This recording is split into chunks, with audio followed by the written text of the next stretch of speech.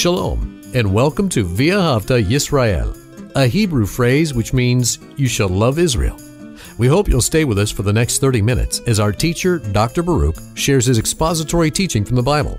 Dr. Baruch is the senior lecturer at the Zera Avraham Institute based in Israel. Although all courses are taught in Hebrew at the Institute, Dr. Baruch is pleased to share this weekly address in English. To find out more about our work in Israel, please visit us on the web at loveisrael.org. That's one word, loveisrael.org.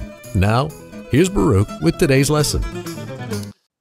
Salvation is an important theme throughout the Bible. We see that there is a relationship between salvation and the manifestation of God's glory. God, because He wants His glory to be manifested, and ultimately, there's a very important verse from the book of Isaiah that says, Holy, holy, holy is the Lord God of hosts. The whole world, and this means all of creation, will be full of His glory. And that phrase speaks about the kingdom of God having been established. And the establishment of the kingdom of God is related to salvation. So God desires to save. He wants his glory seen because when God's glory is manifested, it is because good things are taking place. God's will is being done. And we look into scripture and we see that the king the king who trusts in God, relies upon him, moves in regard to the instructions of God. This king will be an instrument that manifests God's glory because this king will be successful in bringing about the salvation, that is, the victory of God. And what is the victory of God? His will being realized, his will taking place. Now, in the psalm that we're going to look at, and you can open up your Bibles and look with me to Psalm 21, this 21st psalm focuses in on the king, how he responds, and because of his obedience, because of his reliance upon God, because of all of this, salvation is manifested we're going to see a description of victory, and through all of that, the glory of God is seen. And that's what we should desire in our own life. Now, the king, when we look at what the Bible says about the king of Israel, he is required to write for himself a copy of God's instruction, the Torah. He needs to know God's commandments, what God expects. The king, yes, he is the ruler, but he is called to be the example. He leads the people. And a king who demonstrates reliance, trust, faith in God. He will lead the people to experience God's victory. Salvation, the glory of God, will be manifested throughout his domain. That's what a godly king does. And this is exactly what David writes about in this psalm, Psalm 21. Let's begin, verse 1. And again, we have that short inscription Lamnatzech Mizmor Le David, to the leader, the choir director, the chief musician, a psalm of David. Now that's what verse 1 says in the Hebrew text. In your Bible, that first verse continues. It's verse 2 in the Hebrew, and it says here, Lord, in your strength, the king will be glad. Now, notice there's a relationship between God's strength and the implication is being manifested. The king utilizes the strength of God. And where is God's strength available to us? In His will, when we are carrying out His work. It is in the midst of obedience that we have access to the resources, the provision of God. And when we're in His will, utilizing His provision, the outcome is going to be, and this is what this scripture says gladness. And it continues in a parallel manner. Remember Hebrew poetry parallelism. We see that what's parallel to in your power, the power of God, we find, and in your salvation. So God's power is for the purpose of saving. And again, one of the chief ways we need to understand salvation is victory. Bringing victory for God's people in producing, realizing, bringing about the outcome of God's will. That's what salvation is. That's what true victory is about. God's will being maintained and achieved. And when it is, notice what it says in the second part of the verse in your salvation, how he will rejoice exceedingly.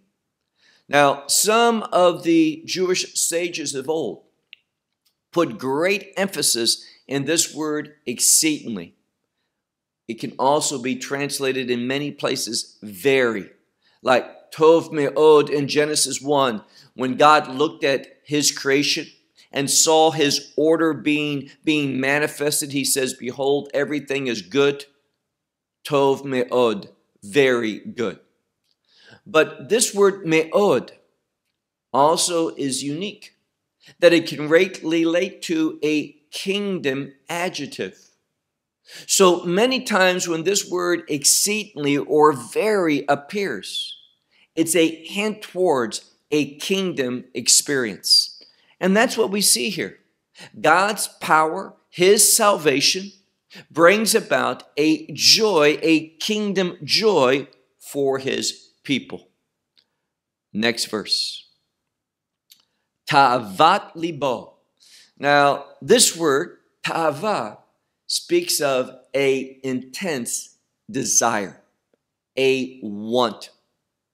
And here we see that this king, he wants the things of God. So the, the desires of his heart, you will give it to him. And we're going to see that this king, he wants what God's wants. It is not a scripture that simply says, because he's the king, he gets whatever. Obviously, it all comes within a framework. One of the things that we need to see as useful and for the purpose of safety is the concept of boundaries. When we remain within the boundaries of God's will, there's safety. We're going to experience His strength. We're going to know His victory, His salvation. So we do not want to use freedom, liberty to violate the boundaries of God, but enter into the boundaries of God. So the desires of His heart, you will give it to Him. And then we see the request. It's another word, it's rare in the scripture, but it speaks about requests or desires. It's a synonym of his lips. So he expresses what we learned here in this parallelism is what his heart desires, he names it, he speaks it. And most scholars see this as a reference to, to prayer. So he takes the thoughts that he has from an established heart, a heart that desires the will of God. And he, he prays these things before God. So the request of his lips, you will not refrain or prohibit. And then we have the word Selah, word most scholars see of, of emphasis, to put an accent, accent on what is just said. Next verse, verse 4 in Hebrew, verse 3 in English. For you, and this is a word to, to cause one to move forward, to progress. And that's what God does. God moves us forward.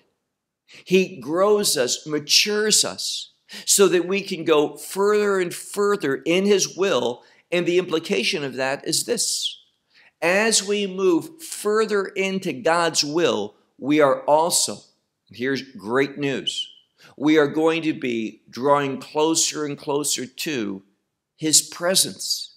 There is that relationship connection. This is foundational. See, the reason why one is motivated to obey the will of God is because in doing so, one experienced the presence of God. And that's really our desire. That's that request of the king's heart and what he prays before him. For you will, will move him forward in what? Birchot Tov. Birchot are blessings. And then we don't have good blessings, as some Bibles translate it, but it's blessings of good, goodness. So it's just not good blessings, but the blessings of goodness. And again, this word good, tov, has to do with the will of God. So it's an idiom for us understanding the blessings of the will of God. That's where He's going to move us further and further in, in His will. And then continuing on, you will set His head or upon His head to His head, a teret paz, a golden crown. And we find here and what the scriptures revealing to us, and this is simple, but so profound, and that is this. As God moves me, I progress in his will. I'm going to experience the blessings. And how can we understand the blessings? Well, the second part of this verse speaks about the crown of gold. What is that? It is symbolism of rewards. God gives rewards as we move in His will. And notice that the word blessing is in the plural. So there's more and more rewards as we move deeper and deeper and more forward in the midst of God's will. This is the motivation of the man of God, the woman of God, the rewards from God. Verse 5 in Hebrew, 4 in English. The first word of this text is the word chaim, life. And, and what we see here is that this portrays, it depicts what life is about. True life is not going in your will, that is deception. True life is when we find ourselves in the midst of God's will, doing His purposes and manifesting His glory through an obedience that produces victory. That is what the man of God, the woman of God is called to do, what they are, are about, what their life purpose is. So, life, He asks from you, and you give it to him. And this life, notice, it's not just any life, just not a human life, but notice it says, Orach Yamim Olam Ve'ed. Orach Yamim means an extending of days. It speaks about going forward, and the implication is it's on and on. That's why it says, as we look at this last part, where it says, Olam Ve'ed, which is the term forever. So most interpreters here see the life is a kingdom life. Speaking of life eternal, that is the desires. That's what God's not going to withhold from us.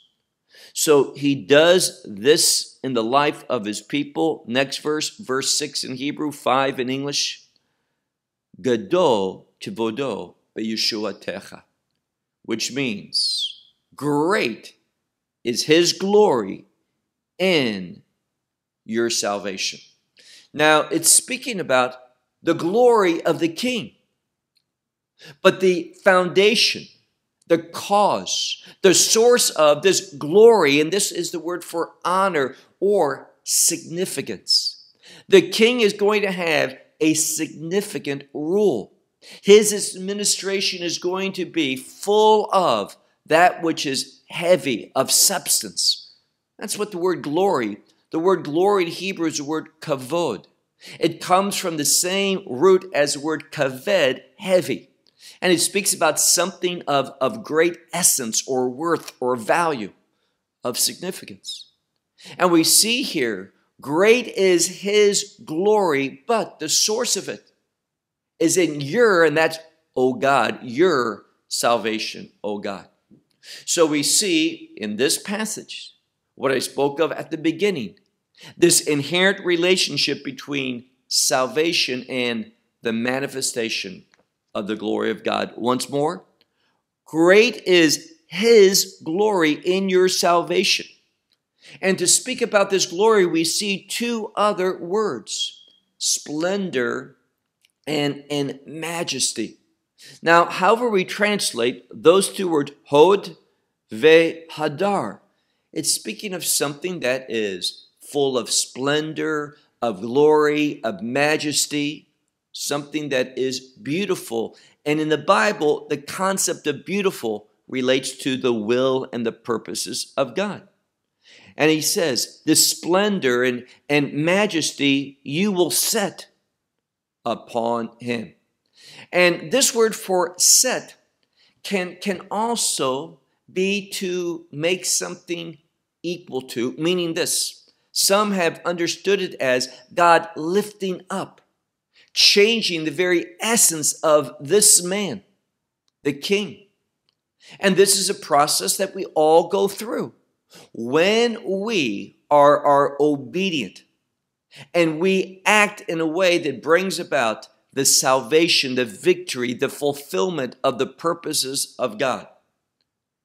That action, those deeds have great significance. And they are going to manifest and place, this is part of the reward, that God is going to work and bring change in the very essence of what we are. He is going to transform, and this is what Paul speaks of in Romans chapter 12. That, that by the mercy of God, that he would work with human beings, that we see that there's a transformation. Be ye transformed. This is what David is also writing about. Now, verse, verse 7 in Hebrew, 6 in English. For you have set him and we go back to that same term, birchot, blessings. But notice what it says here. There's another word, not the word birchot tov, blessings of goodness, but here it is, brachot, brachot, laad. These are eternal blessings forever. And this is so significant. Because once more, this is an adjective, this word forever, that, that usually is used in regard to the kingdom. So we see twice when this expression, brachot, when it's used here, we see that first it relates to the will of God and then the, the kingdom of God. This concept of forever. And when we are, are, are having access to the provision of God. The thing that we need to remember is there's no limitations. They, they don't run out. They don't wear out. There's nothing that, that in any way lessens these. They have an abundance that has no end. And this is why we can serve God with confidence in the midst of His will, His provision will never be insufficient, inadequate. So he talks about, let's look at this verse carefully. He says, For you have set upon him brachot le'ad, these blessings that relate to the kingdom, eternal blessings. And then you will make him, and literally it's the word, you will make him sharp. And this concept of sharp means, we might say, on the point. It is an idiom that speaks to something that truly checks the box, meets the objective. And in doing so, this change that, that he goes through where he achieves the right things, it is going to produce, notice, in gladness of your face. He is going to be transformed. He's going to be sharpened. And think for a moment of a pencil. A pencil, it can write, but it may write dull.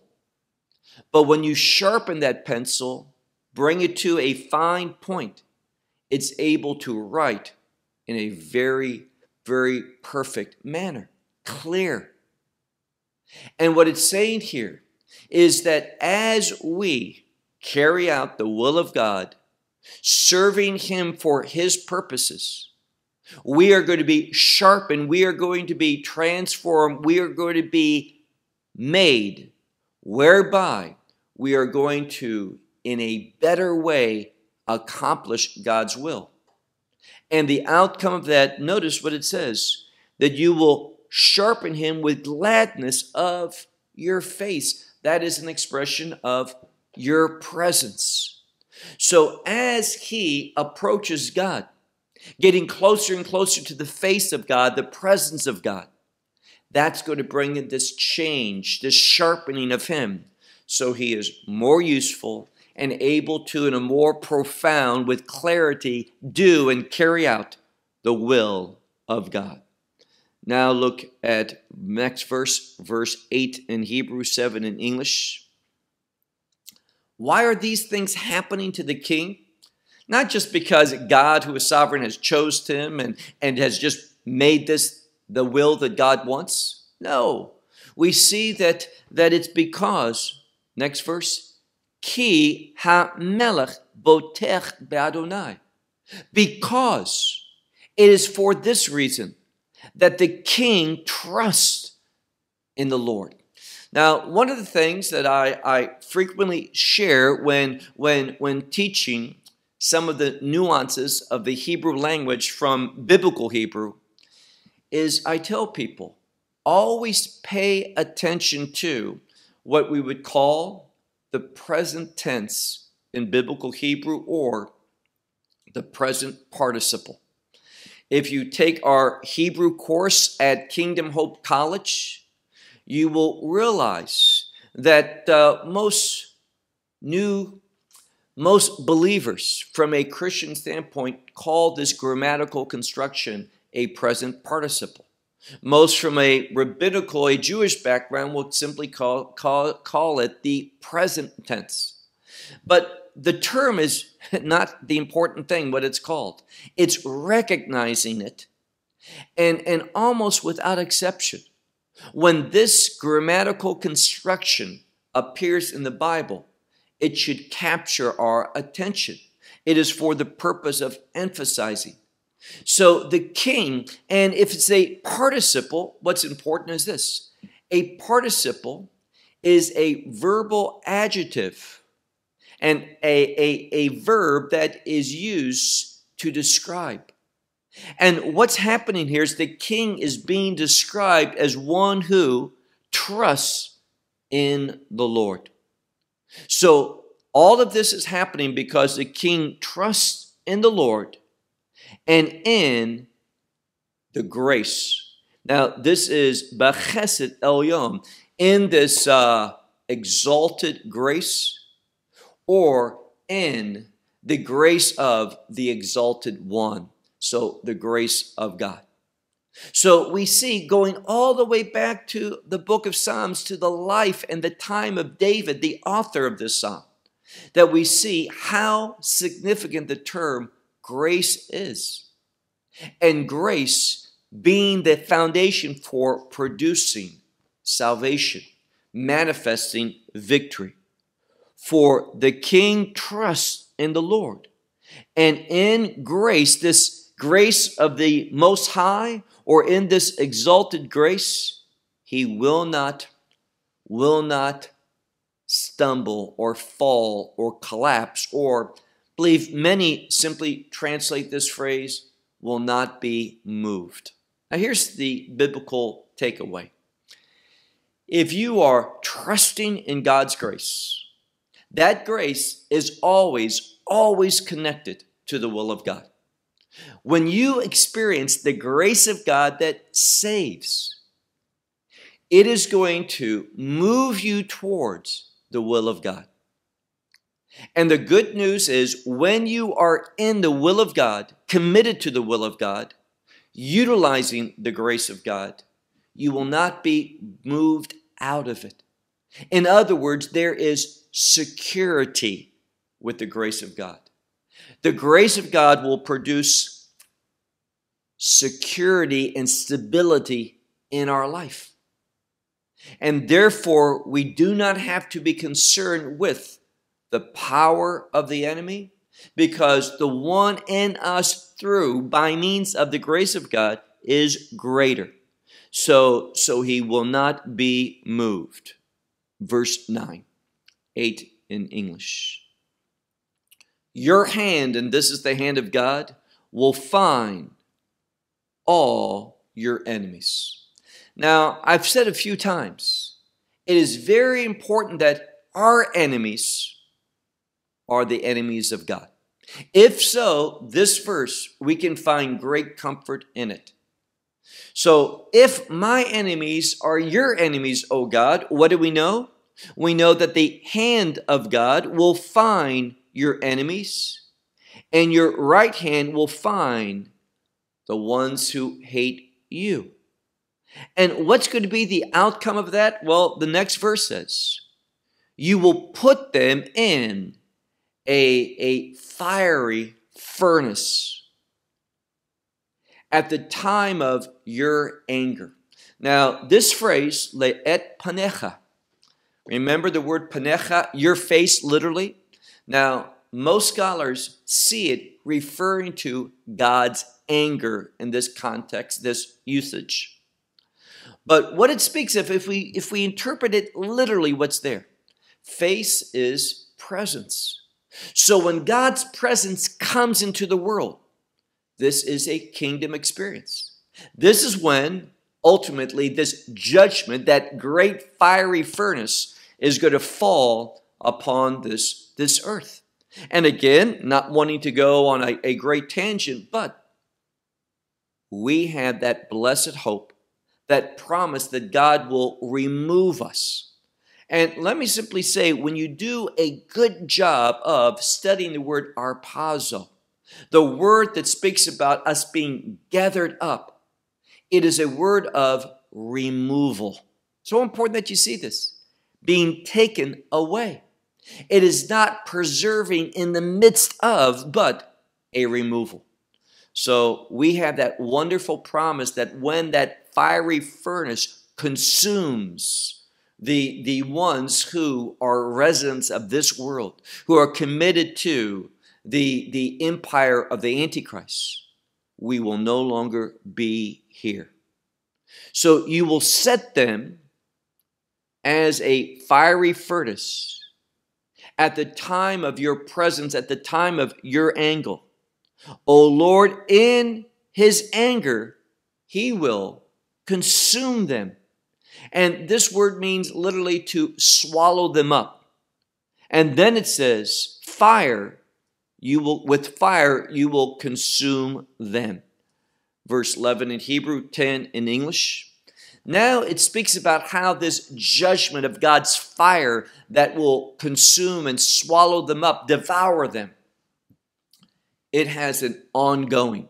Notice, and this is very poetic when it speaks about the next generation. For believers, that term, the next generation, anything that, that, that hints to that, usually speaks about something good. But for the enemies, the next generation speaks of something that is not good. What do we read here? Verse 11 in Hebrew, 10 in English. Their sons, that is, their offspring, from the earth will perish. And your seed, that is another word for offspring, your children, They're going to perish from what? From the sons of man, from humanity. They will no longer be part of God's creation. They are going to be separated in eternal judgment. Why? What was it about them? Well, he tells us in the next verse. Ki natu alecha ra, which means, for they intended against you evil. Meaning this. And the simplest, the, the most literal way to understand that is this they contended against God for that which is not his will. And, and that which is not his will is usually what we consider our destiny. The dreams, so often, this so called destiny and the dreams that I have, they are not, they are not, they are not from God but they are from the desires of that old man, that flesh. They are about pleasing the flesh rather than pleasing God. See, it is not spirituality to ask God, God bless my plants. That is the foundation of idolatry. True spirituality, that which is pleasing, that which is of God, is when we ask God, God, empower me, lead me, enlighten me in order that I might do your will. That's the difference. So these individuals, for they intended against you evil, they thought a plot, a scheme. And this word is always a plot or scheme that is wrong, incorrect, that does not reflect the character or the purpose of God. And they, notice what it says, they are unable. Now, here's what the scripture's revealing to us. See, one of the worst feelings that a person can have is that of frustration. And frustration oftentimes has a spiritual spiritual foundation meaning the source of that frustration is God. He puts that frustration within you. Because you're wanting to accomplish something that God will not allow, that you are not able to do, that you are trying to, to go past the boundaries of God. God says, no. And because you can't achieve that, you become frustrated. This is all a, a blessing to cause you and to call you to repent. So it says, they devise, they think of this scheme, this plot, but they are not able. For you have put them the back. That's literally what it says, or literally Shem, more of the, the shoulder. And what it's saying here is this God is going to move against them because they have an evil plan, their scheme. And when God moves against them, they are going to flee.